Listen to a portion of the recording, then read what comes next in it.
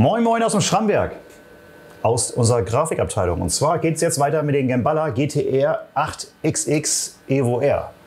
Und zwar haben wir jetzt die Grundfarben drauf, habt ihr im letzten Video gesehen, unser True Passion. Darauf ist jetzt schon eine weitere Schicht gekommen, diese Meta Jewels, die haben so einen Rainbow-Effekt. Und jetzt geht es darum, Step Nummer 5, ne, 3, 4, Step Nummer 5 ist jetzt die Grafik.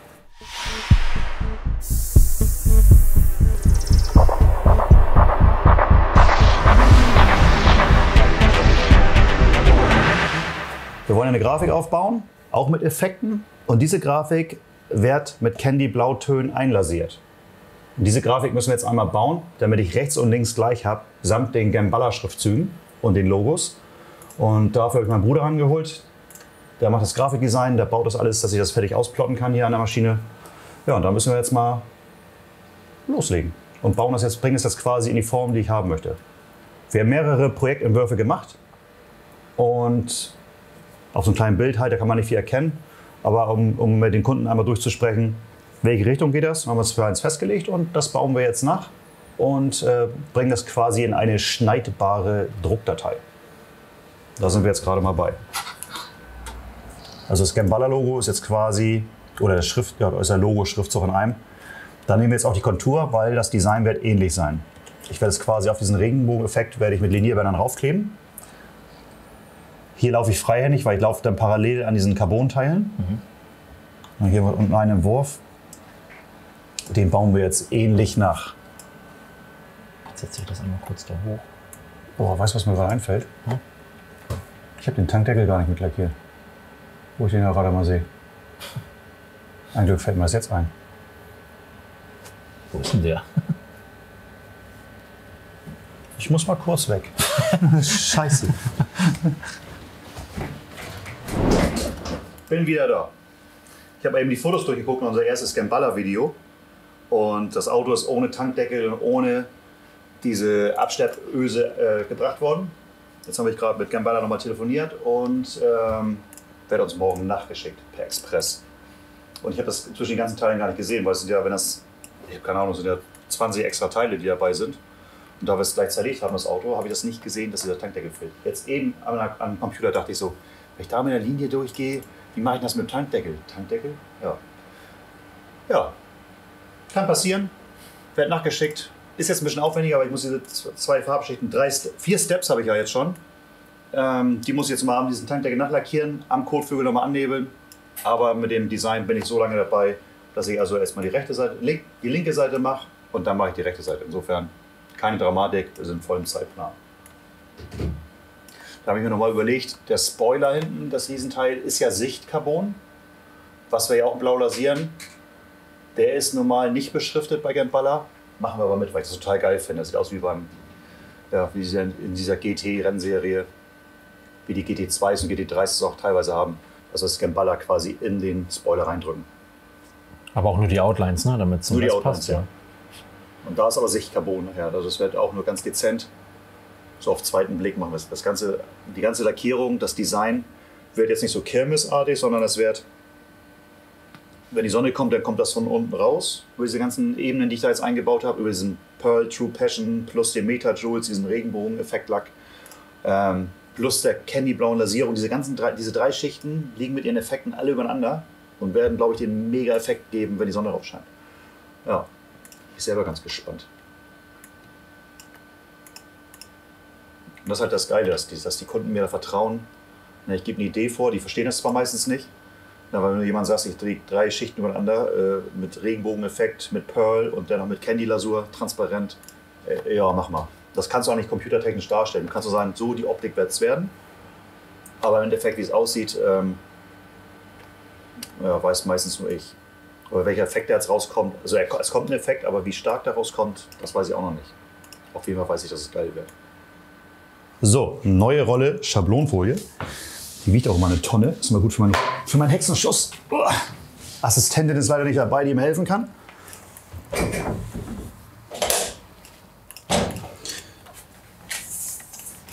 So, das ist eine leicht klebende Schablonfolie. Die benutze ich schon, ich glaube, 25 Jahre. diesen Hersteller. Weil der halt sehr leicht klebend ist, lösemittelhaltiger Kleber. Funktioniert auf konventionellen Lacken halt sehr, sehr gut. Also lösemittelhaltige Lacke. Auf Wasserbasislacken funktioniert das überhaupt nicht gut. Und damit mache ich schon jahrelang meine ganzen Schablonen und sowas. So, jetzt macht er mir einmal einen Testschnitt.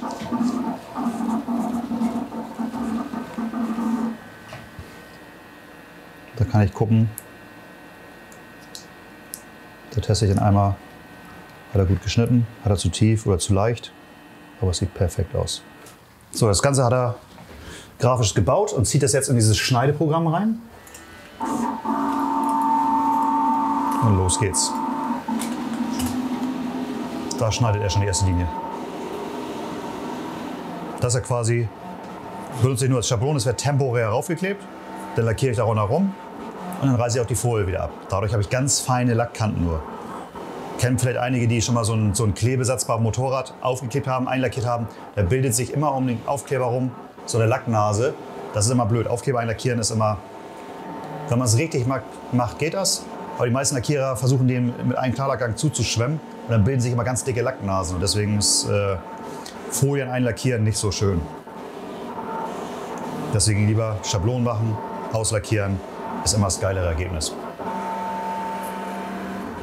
So, der Schneideplotter ist fertig. Jetzt habe ich natürlich einen riesen langen Flatschen hier. Das ist jetzt quasi eine Wagenseite.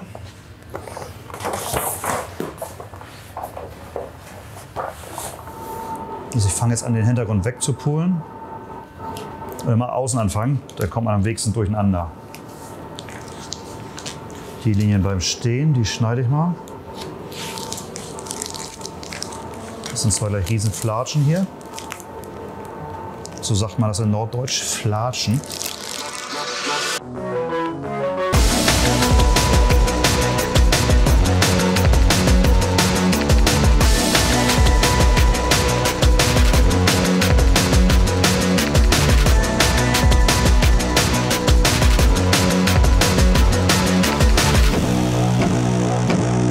So, ähm, das ist ausgepult, die eine Seite. Jetzt kommt die Übertragungsfolien. Da, ich, da das allein immer ein bisschen aufwendig ist, hilft mir hier Chaos Ellie.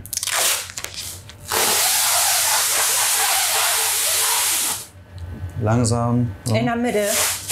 Kenny, in der Mitte zuerst. Das Ja, aber ich will gucken, dass, äh, dass es so knapp wie möglich hier runtergehen. Lass mal langsam runter. Ich fluchte. Ja.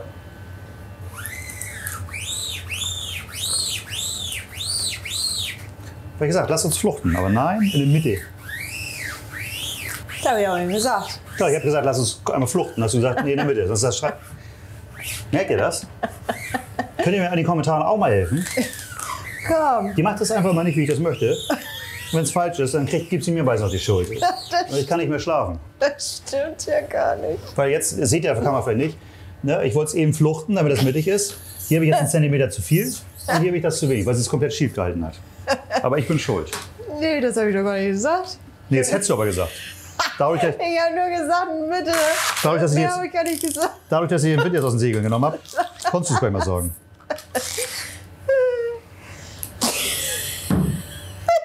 Schon wieder in Schweiz. Sitzt du so, krieg einen Lachkrampf. Los. so, bitte. Ich versuche. Guck mal. Scheiße. Steht mir in den Kommentaren mal bitte bei. Ich kann so auch nicht mehr weitermachen. Jetzt Ich brauche da Vitamine aus der Apotheke jetzt irgendwie. Mann. Wenn Jetzt zieh doch mal da hinten hin. wie heißt das, diese Kraft der zwei Herzen oder was brauche ich? Entschuldigung.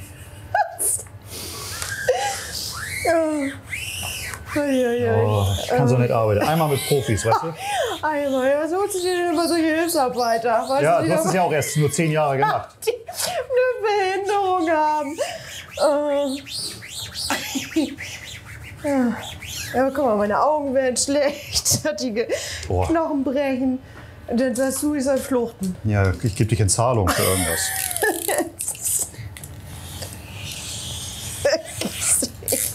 Hallo.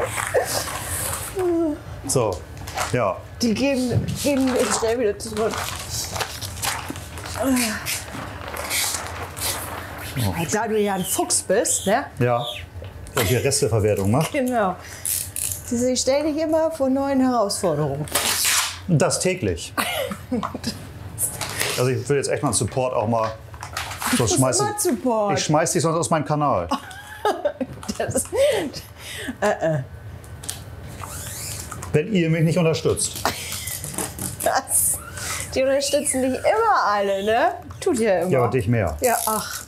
Sind wir jetzt eifersüchtig? Ups, daneben geschnitten.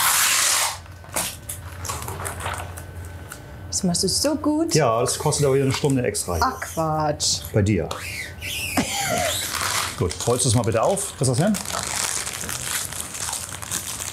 Du hast Ja. gesagt, ich bin Aber- behindert. So, hier. So macht man das, ne? Ja, wie macht man das? So, so rum. Warum so rum? Äh, weil man das so macht. Damit die Folie auf Spannung ist. Machst du sie intern, rollst du sie andersrum auf, schmeißt die Falten.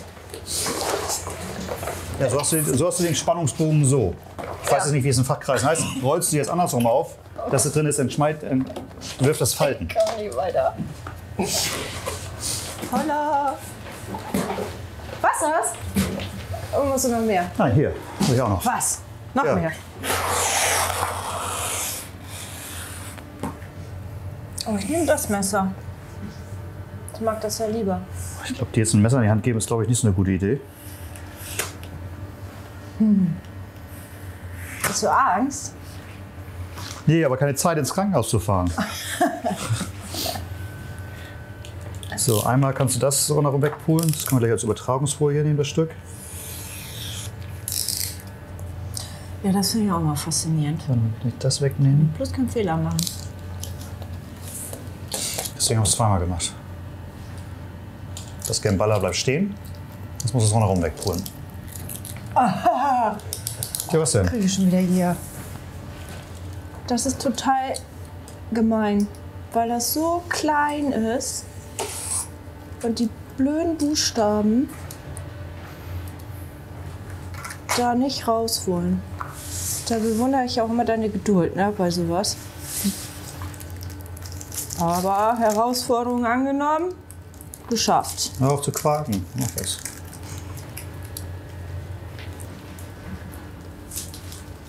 Das ist schon die Spoilerform jetzt hier. Das heißt, ich brauche nicht mehr großartig messen, sondern mein Bruder hat es so gebaut, dass das genau der Spoiler ist.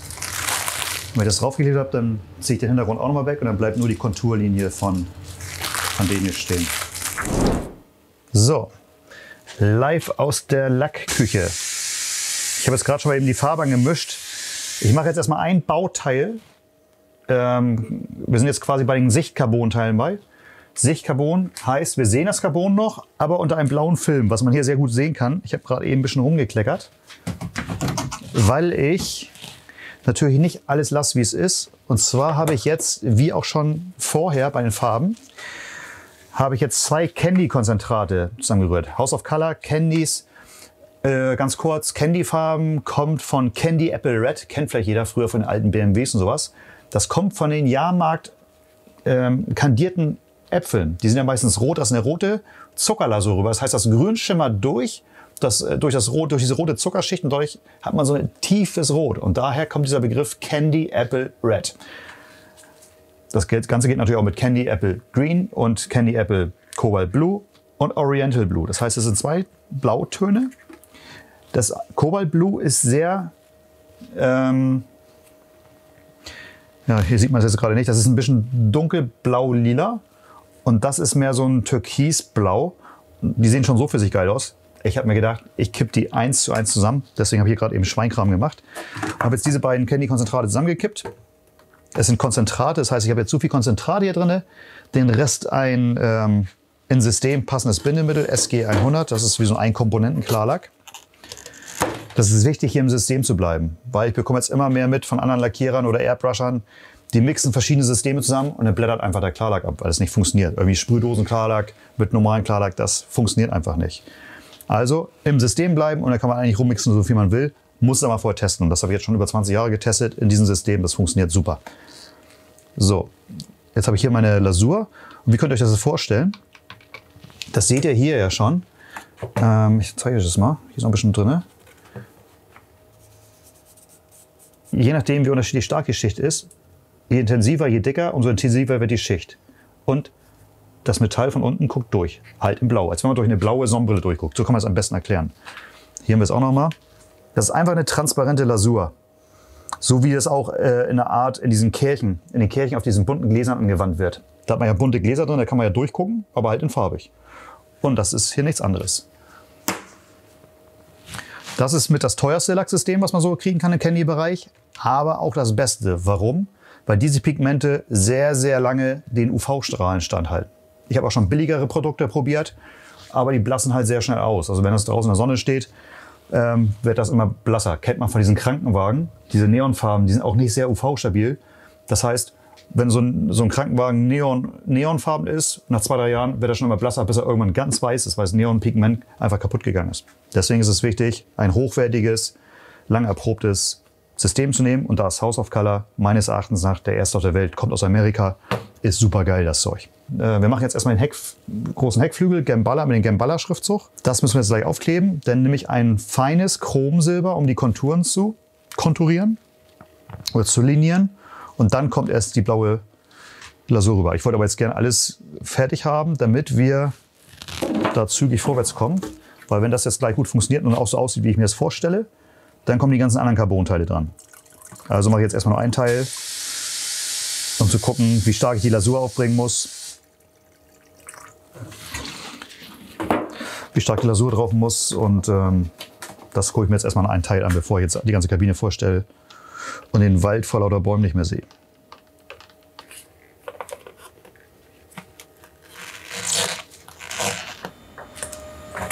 Gut, aber jetzt geht es erstmal an das Silber. Da habe ich auch schon die Pistole vorbereitet. Frisch aus dem Plotter. Ähm, was haben wir jetzt gemacht? Das ist der Heckspoiler, wo dieser große Schriftzug raufkommt. Ja, teilweise kennt man, das ist Carbon schwierig zu bearbeiten. Deswegen haben wir es schön mit Klarlack aufgefüllt. Schön glatt geschliffen, glatt geklotzt, dass es eine wirklich flimmerfreie Oberfläche ist. Ja, und dann geht es weiter. Die Arbeit sieht kein Mensch. Also, ne, das ist die Vorarbeit. Ist immer das A und O. Hier mache ich meine Markierungslinie.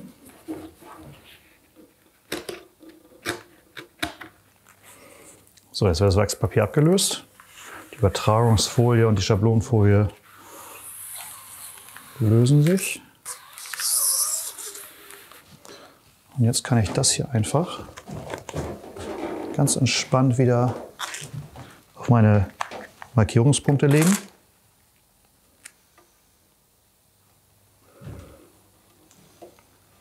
So, jetzt liegt das locker drauf.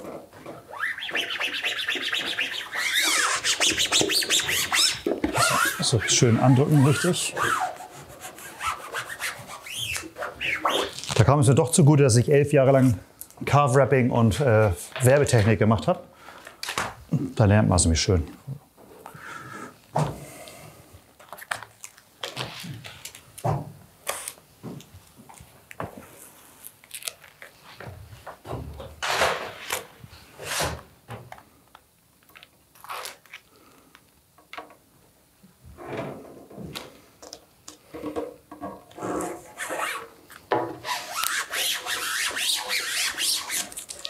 Mache die Übertragungsfolie von der Schablonfolie ab. Das Ganze auch schön vorsichtig, dass ich nichts hochreiße hier. So, jetzt haben wir innen drin das Gambala ja frei gepult. Damit fange ich gleich an. Und hier die Kontur, die bleibt auch stehen. Ich habe hier noch so eine ca. 5 mm starke Kontur stehen.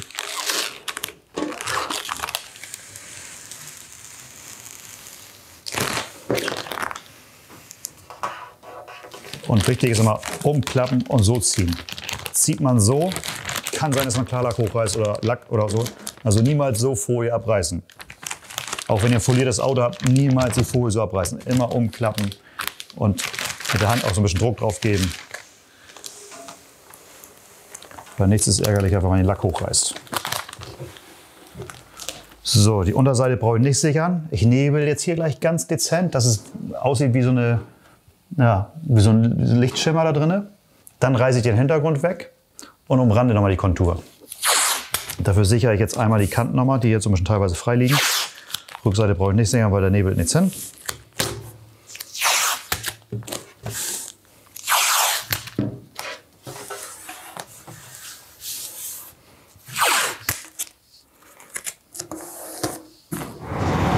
Einmal statisch entladen, dass ich nicht irgendwelche Nebelschleier hier nachher habe.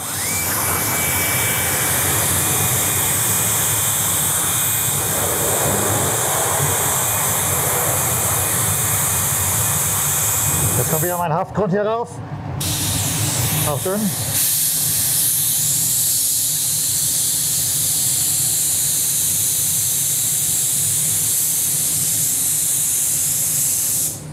Jetzt kommt dieses super feine, chromartige Sil Silber rauf. Viele kennen das unter Mirror Chrome von House of Color.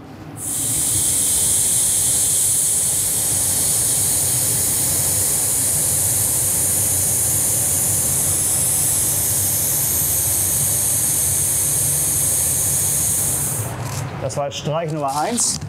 Jetzt habe ich quasi in das bestehende Feld schon eine, einen Silberschein reingebracht. Und jetzt reiße ich den Hintergrund weg und gehe quasi die Kontur einmal nach. So, die Kontur bleibt jetzt stehen. Das Innenfeld habe ich jetzt eben auslackiert.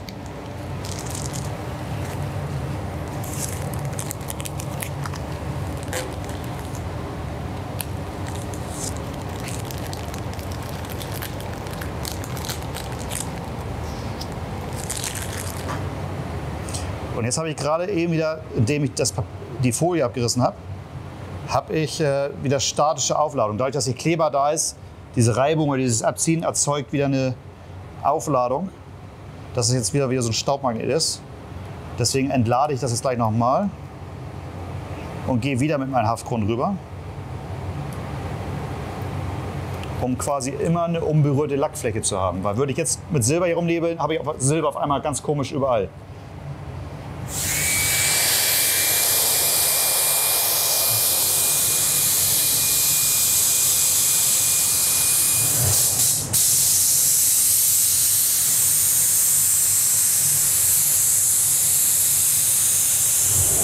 So, ich teste hier auf unserem Papi immer diesen abziehbaren Kabinenlack rum. Und habe die Farbe eingestellt, dass der Luft- Luftdruck passt. Also einmal mal vorher testen. Und dann kann es losgehen. Jetzt fahre ich quasi mit der Airbrush auf der Kontur entlang, die hier so außen steht. Das gibt den ganzen so einen Schein. Oder wie so eine Hinterleuchtung, als wenn der, die Kontur bleibt in Carbon stehen und wird von hinten quasi beleuchtet.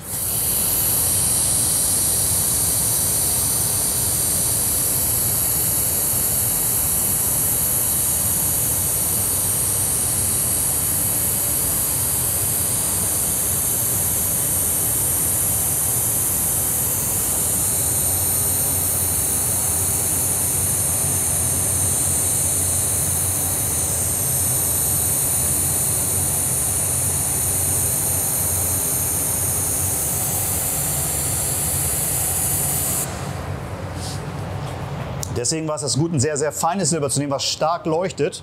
Also so chromartig, weil es deckt sofort. Da muss ich also nicht öfter rüber gehen. Und es ist hauchdünn.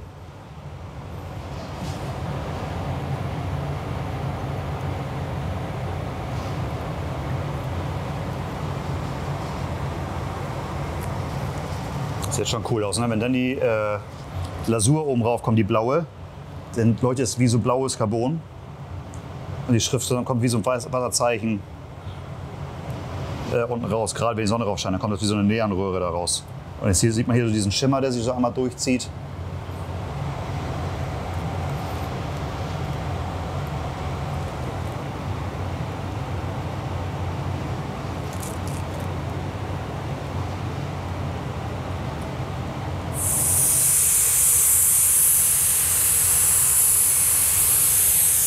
Hier seht ihr, ich ziehe ganz leicht ab, wenn ich Dollar raufgehe, wird das immer kräftiger. Und das ist halt auch die Problematik. Ich muss mir merken, wo ich wie stark lackiert habe. Und deswegen ist es schwierig, die Türen einzeln zu lackieren. Weil lackiere ich hier ein bisschen stärker, da ein bisschen blasser, habe ich schon einen anderen Effekt. Und mein Plan ist jetzt zwei, zwei geschlossene Schichten aufzulackieren.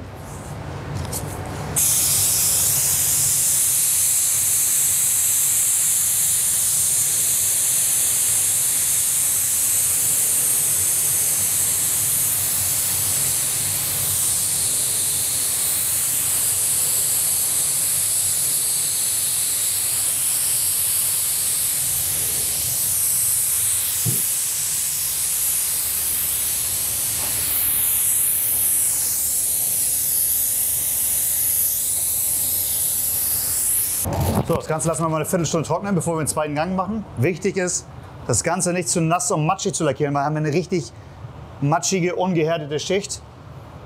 Das macht keinen Spaß. Deswegen schön ausdünsten lassen, auch bevor der Klarlack aufkommt. Über Nacht stehen lassen, also mindestens zwölf Stunden, damit die Lösemittel raus kann. Weil viele kennen das auch, die lackieren das so relativ schnell und zügig, machen Klarlack drauf. Und dann äh, hat man es oft, dass der Klarlack auf einmal abblättert, wenn man mit dem Dampfschaler dabei geht. Oder das passiert nicht sofort, sondern teilweise nach einem Vierteljahr, halben Jahr. Deswegen immer Zeit geben, dass die Lösemittel raus können. Also jetzt erstmal Wartezeit. Gut, eine Viertelstunde ist rum, bisschen Temperatur drin gehabt. Jetzt kommt der zweite Gang und den lassen wir in zwölf Stunden stehen für den Endklarlack.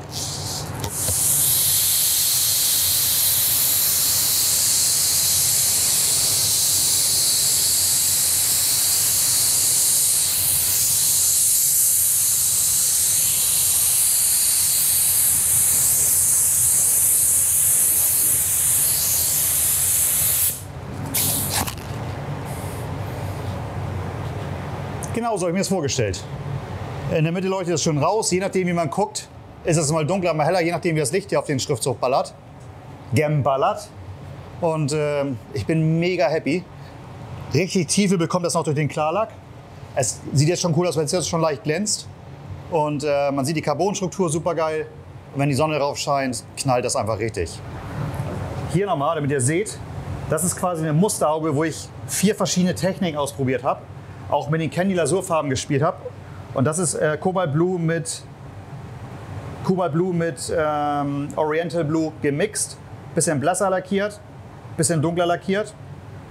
Und so sieht sie dann aus. Und genau diese Farbe habe ich jetzt erreicht in diesem.